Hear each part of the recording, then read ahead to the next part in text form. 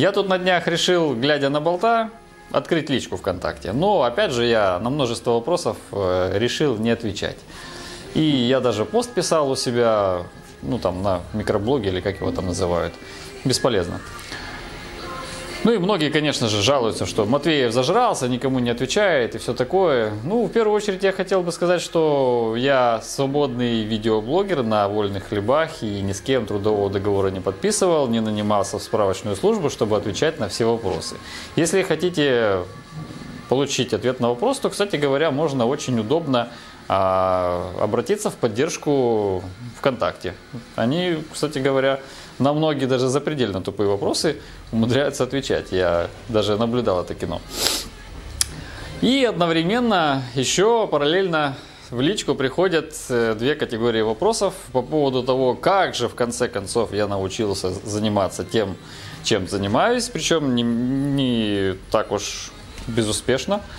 И второй, я считаю, наверное, у некоторых долг, они чувствуют прямо долг перед отчизной, прислать мне в личку какую-нибудь шутку, минутку, какое-нибудь видео, какую-нибудь ржачненькую фотографию и прочую лабуду.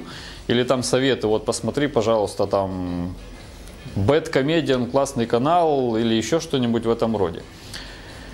Я к чему это все? Сейчас я попытаюсь связать все это дело воедино. Мой успех в той или иной степени, я считаю, связан с тем, что я сейчас постарался отказаться от всего информационного мусора, который отнимает у многих пользователей интернета вагон времени, при этом не дает абсолютно никакой полезной информации. То есть всякие бэткомедианы, This is хорошо, плюс 100-500, Comedy Club, художественные фильмы, а, всякие паблики, говнопаблики, которые постят, перепощивают друг с друга, перетаскивают всякие картинки, не содержащие абсолютно ничего, кроме ха-ха.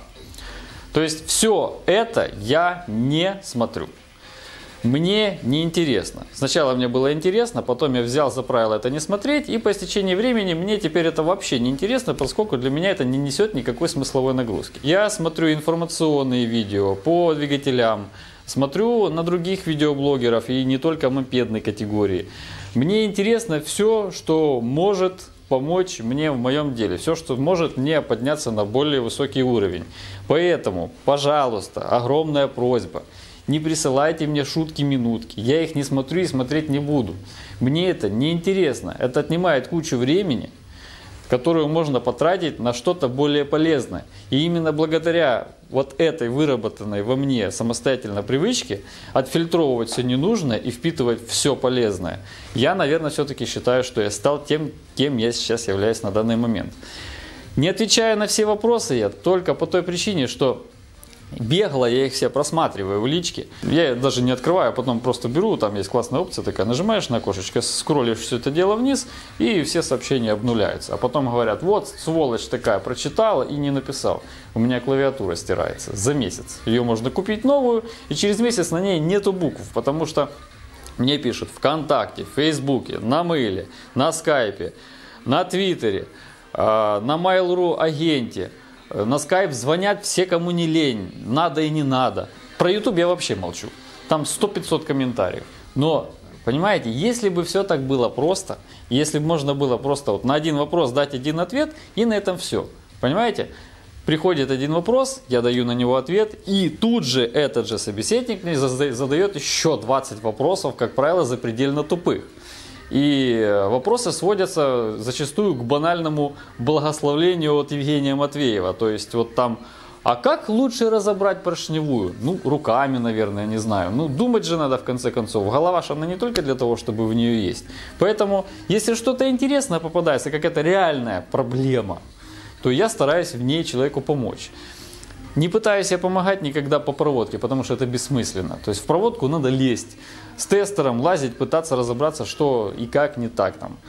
А все остальные вопросы, на них либо вагон информации в интернете, но почему-то все считают своим долгом задать этот вопрос именно мне, потому что я как, блин, истина в последней инстанции и алюминь и все такое. Вообще, конечно, печально наблюдать картину, то, которую я в последнее время наблюдаю, да, причем уже не в последнее, а уже достаточное количество лет, что все мои труды, которые выложены в интернет, для некоторых остаются темным лесом. Ну, понятное дело, не для всех это э, может быть э, постижимо, так же, допустим, как электроника для меня. Но вот не мое это и все.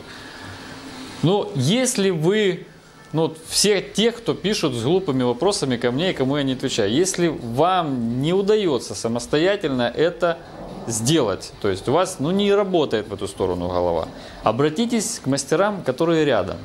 Если у вас не получается, ну я не знаю, что вам делать, подумайте. Но я же всегда думаю, я стараюсь, я, я бывает даже вот ночью ложусь уже после трудового дня, и все равно я лежу и думаю, как я сделаю то или это завтра. Я планирую свой день.